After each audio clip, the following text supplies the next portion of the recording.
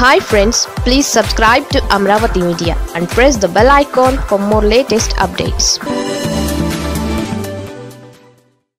Jagan ఇమేజ్ను జాతీయ స్థాయిలో పెంచేస్తున్న చంద్రబాబు. ఏపీలో ఎన్నికల సమరం మొదలైంది. పొత్తు రాజకీయం ఆరంభమైంది. ఇప్పటికే టీడీపీ జనసేన పొత్తు ఖరారైంది. బీజేపీని కలిసి రావాలంటూ ఈ రెండు పార్టీలు ఆహ్వానిస్తున్నాయి. తాజాగా ఢిల్లీ పర్యటనలోనూ టీడీపీ అధినేత చంద్రబాబు కేంద్ర హోంమంత్రి అమిత్ షా ముందు ఇదే ప్రతిపాదన చేశారు. రెండు వేల పద్నాలుగు ఎన్నికల తరహాలో కలిసికట్టుగా పోటీ చేసి సీఎం జగన్ను ఓడిద్దామని చంద్రబాబు పవన్ ప్రతిపాదిస్తున్నారు.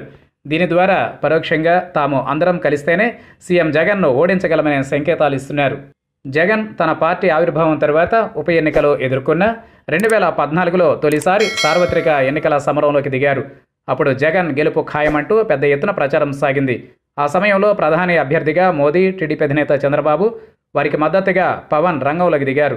పొత్తులతో పోటీ చేశారు.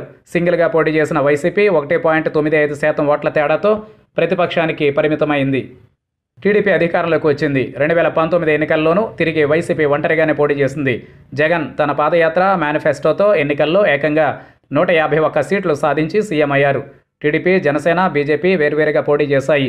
చంద్రబాబుకు మేలు చేసేందుకే పవన్ కళ్యాణ్ ప్రభుత్వ వ్యతిరేక ఓటు చీల్చేందుకు వేరుగా పోటీ చేశారనేది వైసీపీ ఆరోపణ. ఇప్పుడు మరోసారి ఎన్నికల సంగ్రామానికి పార్టీలు సిద్ధమవుతున్నాయి. టీడీపీ నూట అరవై సీట్లు గెలవడం ఖాయమని ఆ పార్టీ నేతలు చెబుతున్నారు. మరోవైపు జనసేన బీజేపీతో పొత్తుకు ప్రయత్నాలు జరుగుతున్నాయి. వైసీపీని ఓడించడమే తన లక్ష్యమని జనసేనని పవన్ ప్రకటించారు.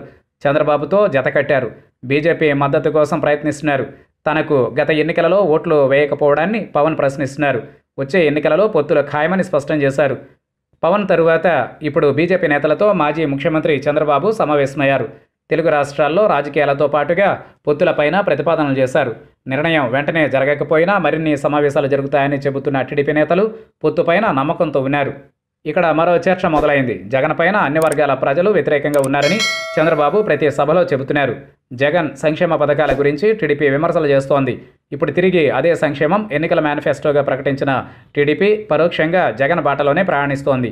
అటు జగన్ ఎవరు ఎవరితో కలిసినా తాను సింగిల్గానే పోటీ చేస్తానని పదే పదే చెబుతున్నారు. కానీ టీడీపీ జనసేన మాత్రం తాము జగన్ను ఓడించాలంటే పొత్తులతోనే ముందుకు వెళతామని చెప్పడం ద్వారా జగన్ బలాన్ని అంగీకరిస్తున్నారు.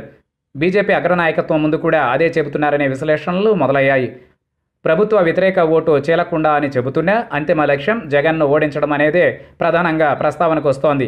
ఇప్పుడు ఢిల్లీ సమావేశాల సమయంలోనూ సీఎం జగన్కు ప్రజాబలం గురించి ప్రతిపక్షాలే ప్రచారం కల్పిస్తున్నాయి. ఇప్పటికే బీజేపీ జగన్ మధ్య సంబంధాల వేళ ఇది రాజకీయంగా కొత్త సమీకరణాలకు కారణమయ్యే అవకాశం కనిపిస్తోంది.